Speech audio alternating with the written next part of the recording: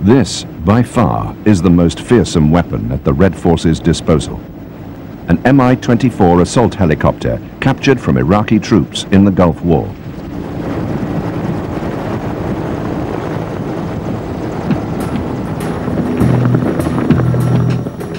At the height of the Cold War, it was codenamed Hind by NATO planners. Thousands of these gunship transporters were built to destroy Allied tanks on the battlefields of Europe in World War III.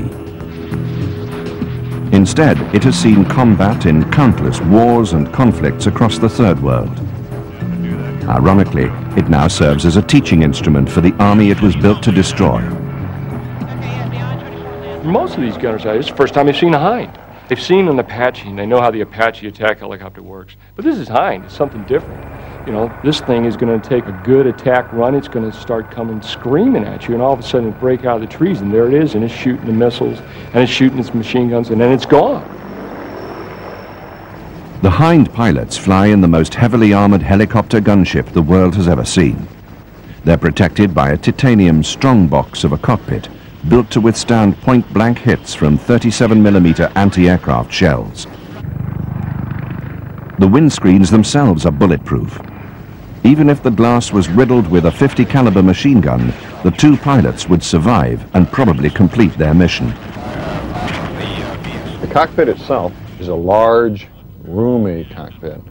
The switches are simple, clearly marked. It's air conditioned. It's got a nice fan up in front for airflow, keeping it across your face. And in stress, you, you like to have airflow across your face. It's overpressurized, and it's chemically and biologically filtered air, so you're in a safe environment till you have holes knocked in it. So it's quite a large, comfortable cockpit.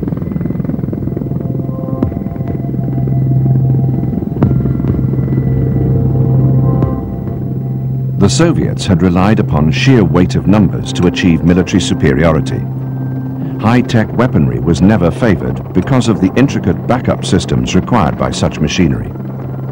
The helicopter the Russians have inherited was designed by the Mil Company and first flown in 1971 and has proved itself to be a highly competent piece of weaponry.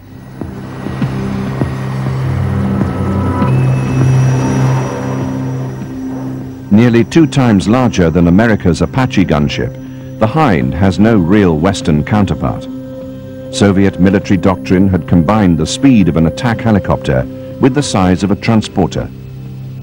The result was a hybrid larger than most World War II bombers, and at 340 kilometers per hour, the fastest military chopper ever made. Faster even than the highly maneuverable Apache.